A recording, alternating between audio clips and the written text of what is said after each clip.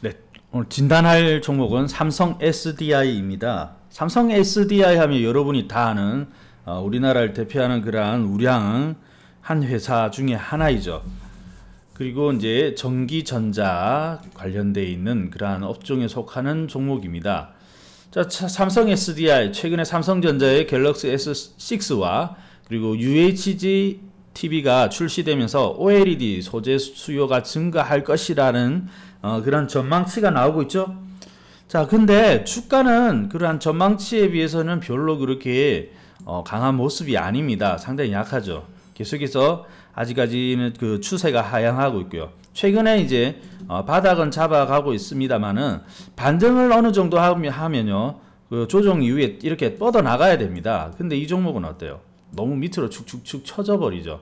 그것은 아직 힘이 없다는 뜻입니다. 그리고 그것 수밖에 없는 게 어, 동종목은 이제 과거에 어, 충분한 그런 시세가 많이 분출되었기 때문에 지금 그렇게 강한 모습은 아니에요.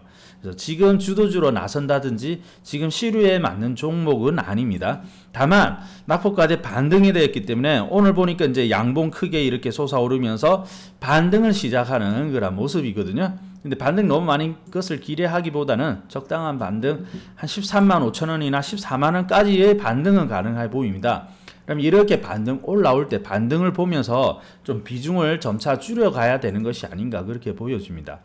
항상 보면은 그 때에 맞는 종목들이 있습니다. 그런 때에 맞는 종목들에 가셔야지 수익이 많이 누릴 수가 있는 거고요. 삼성 SDI는 그 지금 지금 시장의 상황의 때와는 조금 거리가 먼 것이 아닌가 그렇게 보여지네요. 일단 반등을 이용해 가지고 비중을 점차적으로 줄여 가시는 것이 좋겠습니다. 네, 투자자 여러분 계좌가 잘 불어나고 있습니까? 예, 개인이 상, 대응하기에 상당히 좀 까다로운 장입니다. 여러분이 가지고 있는 종목 그리고 투자가 잘 안 되시는 분들 네, 많이 계시죠?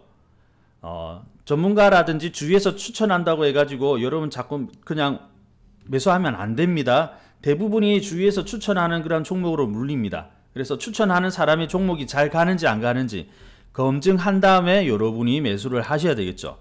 자, 그리고 보유주가 고민인 분, 투자가 잘 안 되시는 분들은 88TV로 어, 오세요.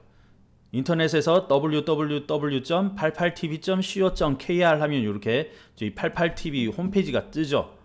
자, 여기에서 어, 여러분이 보유 고민되는 종목들 그리고 투자에 대한 지침들 어, 참고하시면 되겠습니다. 자, 그리고 어, 수요일과 일요일은 어, 부자빠림의 그런 열린 강좌가 있습니다. 열린 강좌를 통해서 어, 투자에 대한 방향 그리고 주옥 같은 계좌들 확인하실 수 있으니까 어, 열린 강좌 많이 이용하시기 바랍니다.